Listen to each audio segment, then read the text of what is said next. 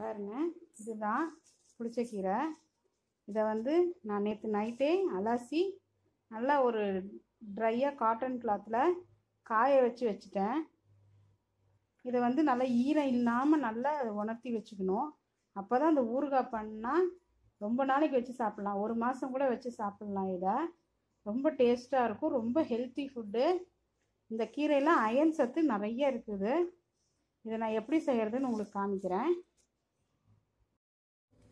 இப்போ இந்த சட்னி எப்படி செய்கிறது ஊறுகாய் எப்படி செய்கிறதுன்னு பார்க்கலாம். பாருங்கள் இது புளிச்சக்கீரை நல்லா அலாசி காய வச்சு எடுத்து வச்சுருக்கேன். காய வைக்கிறதுனா நீங்கள் வெயிலில் காய வைக்கக்கூடாது. நல்லா நிழலில் உணர்த்தணும் இதை. காற்றுல உணர்த்தினா போதும் இதை. அதுக்கு பாருங்கள் நான் மூணு டீஸ்பூன் இந்த டேபிள் ஸ்பூனில் இந்த டேபிள் ஸ்பூனில் தான் எடுத்து வச்சுருக்கேன். வரமிளகாத்தூள் ரெண்டு டீஸ்பூன் கடலப்பருப்பு கடுகு தாளிக்கிறதுக்கு உப்பு இதை எடுத்து வச்சுருக்கிறேன். இப்போ நான் தாளிக்கிறேன். வடைசட்டி அடுப்பு வச்சுருக்கேன். இப்போ பாருங்கள் நான் எப்படி செய்கிறேன்னு அடுப்பு பற்ற வச்சுக்கலாம் பற்ற வச்சுட்டு எண்ணெய் கொஞ்சம் தாராளமாக ஊற்றிக்கோங்க நான் தருங்க செக்கில் ஆட்டின செக்கில் ஆட்டின எண்ணெய் கடலெண்ணெய் மரச்செக்கு எண்ணெய் அதான் ஊற்றுறேன்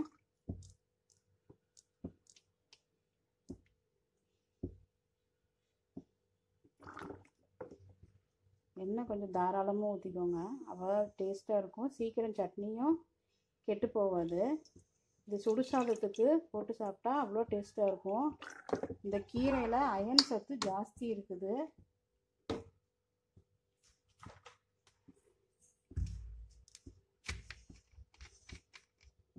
கொஞ்சம் நல்லெண்ணெய் ஊற்றிக்கலாம் இந்த நல்லெண்ணெய் வந்து நாங்களே எள்ளு வாங்கி ஆட்டின எண்ணெய் இது. கொஞ்சம் நல்லெண்ணெய் ஊற்றிக்கலாம் நல்லெண்ணெய் ஊற்றினா டேஸ்ட்டாக இன்னும் டேஸ்ட்டாக இருக்கும்.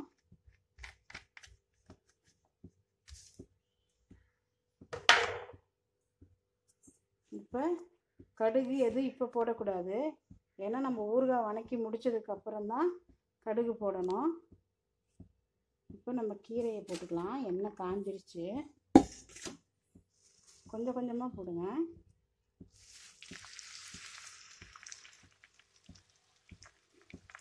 கீரையில் கொஞ்சம் கூட தண்ணி இருக்கக்கூடாது அப்போ தான் இந்த கீரை ஒரு மாதம்னாலும் கீரை அப்படியே இருக்கும். ஊறுகாய் நல்லா டேஸ்ட்டாகவும் இருக்கும்.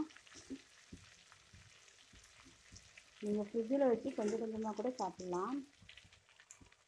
இந்த கதவி விட்டிங்கன்னா நல்லா வணங்கிக்கும். வணங்கினதுக்கப்புறம் எப்படி இருக்குன்னு காட்டுறேன் பாருங்கள் இப்போ எல்லா கீரையும் வணக்கினதுக்கப்புறம் பாருங்கள் கீரை இப்படி ஆயிரும். நல்லா வணங்கி இருக்கு வணங்கிட்டு இருக்குது பாருங்கள் கீரை. சிம்மில் வச்சுக்கோங்க. நல்லா இந்த மாதிரி வடை சட்டி வந்து கெட்டியமாக இருக்கணும். அப்போ தான் உங்களுக்கு வந்து சீக்கிரம் சீக்கிரம் அடி பிடிக்காது. இல்லைன்னா சீக்கிரம் அடி பிடிச்சிருச்சுன்னா திஞ்ச வாசம் வந்துடும் நான் வந்து ஒரு நெல்லிக்காய் அளவு புளி போடுறேன். இந்த கீரையே புளிப்பாக தான் இருக்கும். இருந்தாலும் புளி போட்டால் இந்த ஊறுகாய் வந்து அவ்வளோ சீக்கிரம் இப்போ நான் வரமிளகாய் தூள் உப்பு எல்லாமே போட்டுட்டேன். இப்போ நான் வணங்கினதுக்கப்புறம் எப்படி இருக்குதுன்னு நான் காட்டுறேன் உங்களுக்கு. பாருங்கள் பாருங்கள் நல்லா வணங்கி எண்ணெய் ஓரளவுக்கு பிரிஞ்சு வர ஆரம்பிச்சிருச்சு. இப்படியே நல்லா இன்னும் கொஞ்ச நேரம் நல்லா வணங்குச்சுன்னா இன்னும் நல்லா எண்ணெய் பிரிஞ்சு வரும். அந்த டைமில் நம்ம வந்து ஆஃப் பண்ணிடலாம். இன்னும் கொஞ்ச நேரம் ஆகணும் எண்ணெய் பிரிஞ்சு வரதுக்கு. நான் வரமிளகாத்தூள் போடுற வீடியோ. அது போட்டேன். அது கொஞ்சம் நடுவில் கட் ஆகிடுச்சு இருந்தாலும் மறுபடியும் சொல்கிறேன் நான் மூணு டீஸ்பூன் வரமிளகாத்தூள் எடுத்திருந்தேன். ரெண்டு டீஸ்பூன் போட்டுட்டேன். ஒன்று எடுத்து வச்சுருக்கேன். ஒரு டீஸ்பூன் எடுத்து வச்சுருக்கேன். பத் காரம் பத்தலைன்னா போட்டுக்கலான்னு சொல்லி எடுத்து வச்சுருக்கேன். நீங்களும் அதே மாதிரி உங்களுக்கு தேவையான காரம் மட்டும் போட்டுக்கோங்க. இந்த சட்னி ரொம்ப டேஸ்ட்டாக இருக்கும். இந்த ஊறுகாய். இந்த ஊறுகாய் எனக்கு எங்கள் மாமியார் சொல்லி கொடுத்தாங்க. அவ்வளோ டேஸ்ட்டாக இருக்கும் இது.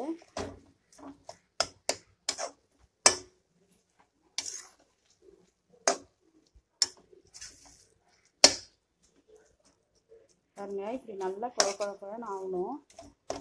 நல்லா எண்ணெயிலே வணங்கணும்.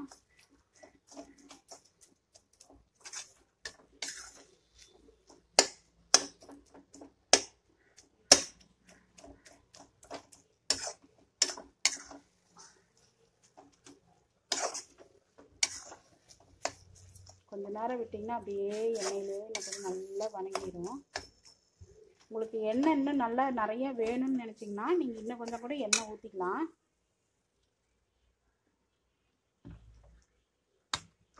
ஏன்னா நம்ம இப்போ எண்ணெய் ஊற்றிட்டோம்னா தாளிக்கிறப்பாயும் எண்ணெய் ஊற்றணும் அதனால் கொஞ்சமாக எண்ணெய் ஊற்றிக்கோங்க தாளிக்கிறப்ப கொஞ்சம் இன்னும் கொஞ்சம் நிறைய எண்ணெய் ஊற்றி தாளிச்சிக்கலாம் நம்ம.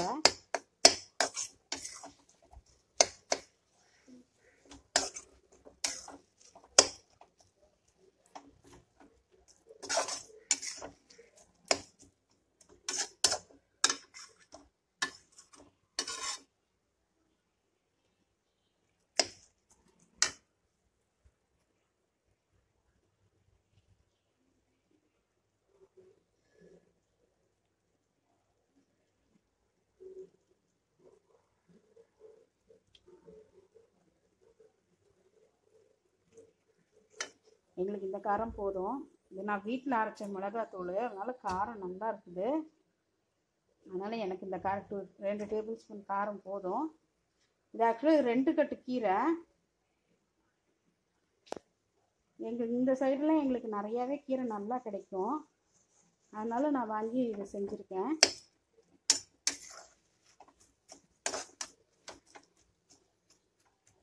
இதை வந்து இப்படி நல்லா வணங்கினதுக்கப்புறம் ஆற விட்டுறணும் கொஞ்ச நேரம். கேஸ் ஆஃப் பண்ணி ஆற விட்டுறணும். நான் கேஸ் ஆஃப் பண்ணிடுறேன். ஆறி ஆறட்டும் நல்லா ஆறட்டும். ஆறுனதுக்கப்புறம் நான் என்ன பண்ணுறதுன்னு காட்டுறேன். இப்போ நல்லா ஆறிடுச்சு. இதை வந்து நம்ம ஒரு மிக்ஸி ஜாரில் போட்டு நைஸாக அடிச்சுக்கலாம். நல்லா ஆறி போச்சு. நான் இதை மிக்ஸி ஜாரில் அரைச்சிட்டு காட்டுறேன் உங்களுக்கு. மிக்ஸி ஜார்க்குள்ளார தண்ணி இல்லாமல் சுத்தமாக பார்த்துக்கோங்க. தண்ணி பட்டுச்சுன்னா சீக்கிரம் கெட்டு போயிடும். நீங்கள் அரைச்சிங்கன்னா நீங்கள் அரைச்சிங்கன்னா பாருங்கள் இந்த மாதிரி வரும். இந்த மாதிரி அரைச்சிக்கோங்க. இப்போ வடை சட்டி பற்ற வச்சுக்கலாம்.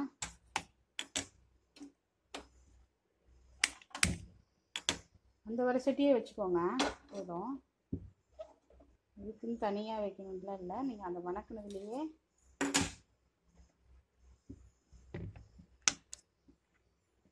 கொஞ்சம் எண்ணெய் நல்லா ஊற்றிட்டு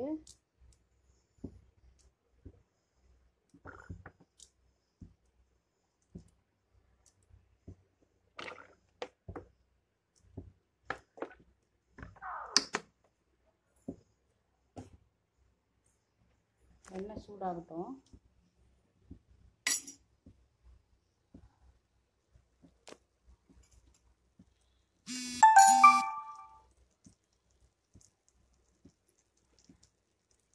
எண்ணெய் சூடாகிடுச்சு நான் கடுகு போட்டுறேன்.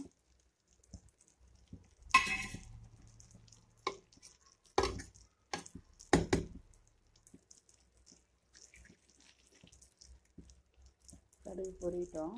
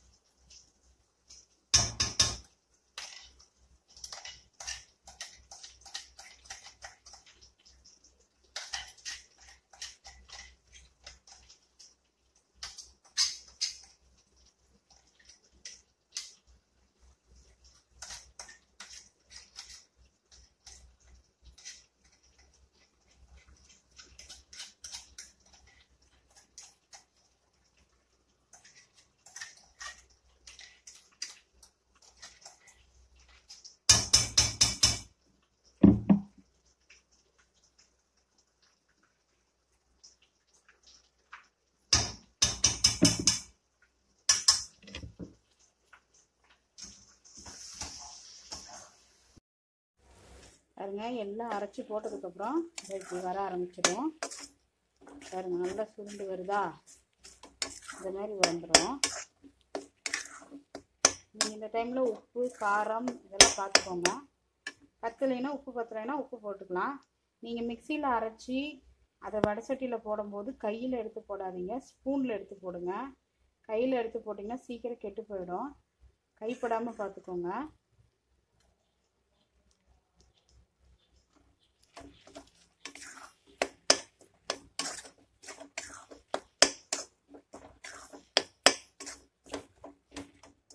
பாருங்க சூப்பராக எப்படி பறந்து வருதுன்னு பாருங்கள்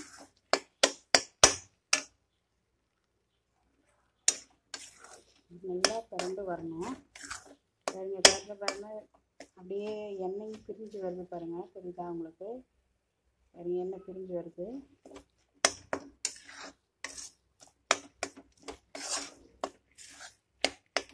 இந்த ஸ்டேஜில் அடுப்பு ஆஃப் பண்ணுறதுக்கு முன்னாடி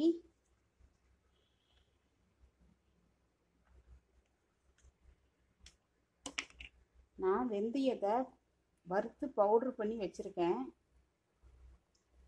அதை வந்து சும்மா கொஞ்சமாக நிறைய தூக்கூடாது ஒரு கால் டீஸ்பூன் கொஞ்சமாக தூணிங்கன்னா போதும். அளவு காட்டுறேன் பாருங்கள்